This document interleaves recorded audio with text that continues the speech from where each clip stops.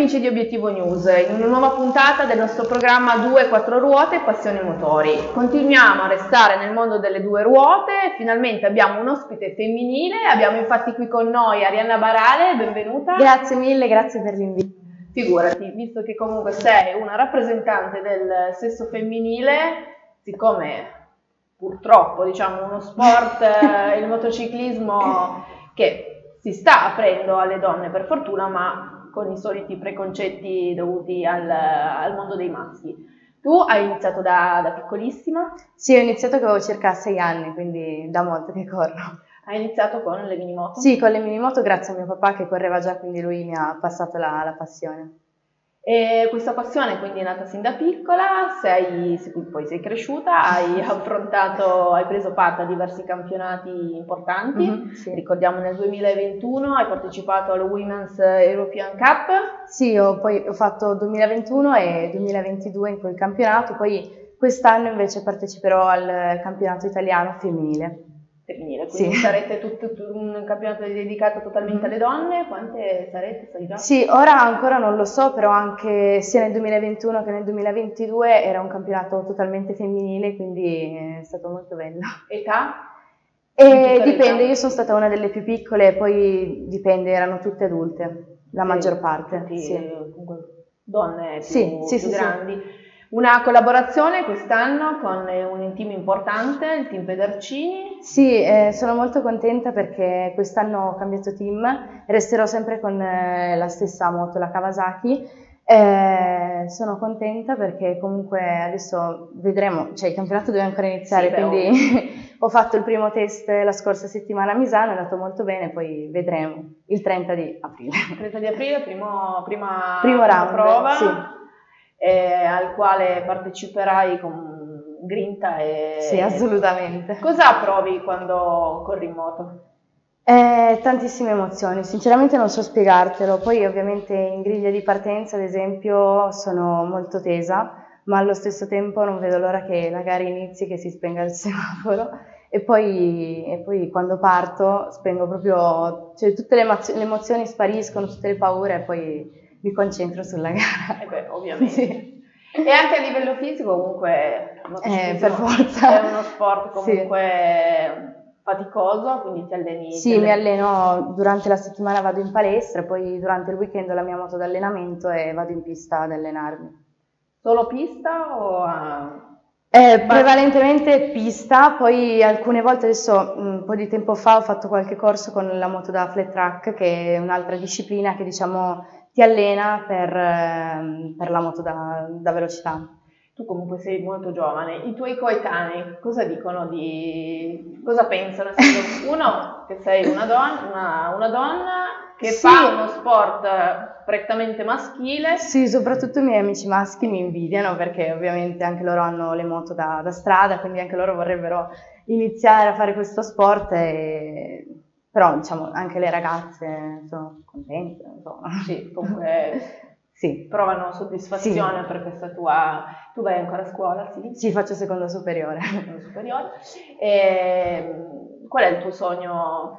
Beh, il mio sogno nel cassetto da sempre è stato quello di arrivare al mondiale, anche se ovviamente non è facile, però il mio obiettivo è quello, poi ovviamente si vedrà. Sì, sì molto giovane, quindi sì, andando per gradi sicuramente riuscirai a ottenere, i, a cercare di raggiungere i tuoi, i tuoi obiettivi. Il tuo, il tuo idolo?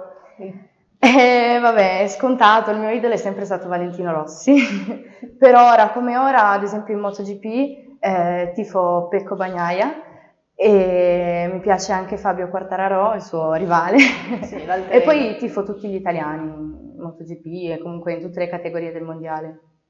Certo, e poi comunque essendo piemontese ovviamente sì. abbiamo campione del mondo in casa per cui mi sembra, mi sembra, mi sembra ovvio. Le, essendo che comunque hai fatto questo campionato che ripercorre comunque tutte le maggiori piste italiane, qual è la pista dove ti trovi più a tuo agio? Che, eh, più... La pista a cui sono affezionata maggiormente è il Mugello, anche se ho avuto un brutto incidente nel 2020, però mi piace, mi piace tantissimo e anche Valencia in Spagna. Purtroppo quest'anno non ci ritornerò, però resta sempre una delle mie preferite. Quest'anno no, il prossimo anno chi lo Speriamo, sa. speriamo. ritornando a quello che hai detto tu del Mugello, dell'incidente che hai avuto, che per fortuna si è concluso Sì, nel migliore fortuna. dei modi, nonostante le avversità non hai perso la voglia di... No, assolutamente, addirittura il, il primo giorno che ero in ospedale, che ero ancora un po' intontita, eh, avevo chiesto ai miei genitori quando potessi risalire in moto, an- anzi addirittura se potevo rifare la gara la domenica, quindi... È così un po' troppo presto. Sì. E, co- e dopo l'incidente, sei, dopo alcuni mesi, sei ritornata Sì. in sella, non hai avuto... Eh, ci ho messo un po' a riprendere il giro perché comunque ero praticamente senza forze, senza niente, quindi mi mancava tantissimo Certo. l'allenamento. E poi piano piano, anche perché poi io sono risalita in moto quando la stagione era ormai finita, quindi ho avuto il tempo un po' di, di riprendermi durante l'inverno. E, e poi ho cambiato totalmente categoria, come hai detto nel, nel 2021 ho fatto la Women's Cup con una moto total- totalmente diversa, quindi Sì, perché tu ti sei fatta male con l'Epre Moto 3. sì, che era sì, una moto diversissima, più leggera, andava più forte, quindi... E quindi hai- cambiando hai cambiato, Sì. hai cambiato, hai alzato l'asticella sempre, Sì. sempre di più, quindi a dimostrazione del fatto che nonostante tutto bisogna reagire a, Non arrendersi mai. alle cose brutte, infatti. Hai altre, altre passioni al di là del, del mondo dei motori? Ma a me piace lo sport in generale, poi sì, mi piace fare sport in generale. E a livello psicologico, a livello mentale, è importante Sì, come, moltissimo. come- qual è un, diciamo, un- non una caratteristica, un, un modo no, per riuscire a concentrarsi poi effettivamente? Ma ti dico, io soprattutto dopo l'incidente ehm, sono andata da un mental coach che è molto utile, eh, che mi ha aiutato soprattutto sulla concentrazione perché io ho molti problemi sul concentrarmi in moto e Sì, quindi mi ha aiutato tanto. Ora purtroppo non ci vado più, però sì, è importante andare da questi specialisti che ti aiutano. Sì, perché poi quando sei lì Sì, esatto. magari ti passa di tutto per la testa, quindi avere dei sapere Sì. su cosa, Su cosa concentrarsi, su cosa concentrarsi. Anche ad esempio in palestra faccio degli esercizi ehm, proprio per, per la concentrazione. Sì, quindi esistono proprio degli Sì. esercizi prettamente dedicati, a, Sì. dedicati a quello. E, mm, quindi abbiamo detto un po' quali sono le tue, le tue aspirazioni, quindi quella di arrivare a correre nei campionati Mondiali, mon- si spera, mondiali, però. noi te lo, te lo- te lo auguriamo. Ovviamente non bisogna mai, mai mollare. Ehm, I tuoi genitori ovviamente, vabbè, tuo papà Sì, mio papà mi ha passato la passione, quindi, Quindi- per forza. per forza di cose non può non essere, non può non essere soddisfatto, non può non essere Anche se a volte mi dice che sei pentito, avrebbe preferito pentito. Che avessi iniziato uno sport un po' più, diciamo, pallavolo, danza. Li ho fatti, li ho provati da Eh. piccola, però ho lasciato perdere, Eh. era il mio sport. Quando c'è una passione c'è, Sì. c'è una passione. Noi ti auguriamo davvero un grosso in bocca al lupo per la stagione che sta per iniziare. Grazie. Andrà, finirà verso settembre, Sì, finisce i primi di ottobre il campionato. bocca al lupo, Grazie. mi raccomando. E grazie di essere stata, grazie di essere stata nostra, nostra ospite. Grazie a voi. Una cosa che non ti ho chiesto, che mi viene in mente adesso, ehm, qual è il messaggio che ti senti di dare alle ragazze che magari sono titubanti ma vorrebbero avvicinarsi a questo sport? Beh, innanzitutto è quello di non arrendersi mai e di credere nei propri sogni e nei propri obiettivi.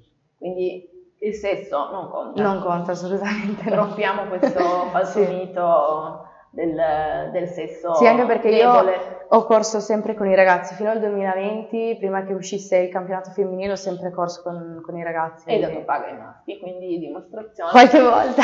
Beh, vabbè, anche solo una volta dimostrazione che, che si può fare. Vuoi ringraziare qualcuno? Sì, ci tenevo a ringraziare tutti i miei sponsor che purtroppo non posso elencare tutti perché se no finirei domani, fortunatamente, e che grazie a loro che corro e mi permettono di correre. E poi anche tutti quelli che eh, mi sono vicini da, da praticamente quando ho iniziato. Ti ringrazio, grazie di essere stata nostra ospite. Noi amici di Obiettivo News ci vediamo ad una prossima puntata, continuate a seguirci sul, sul, su Obiettivo News e su tutti i nostri canali social.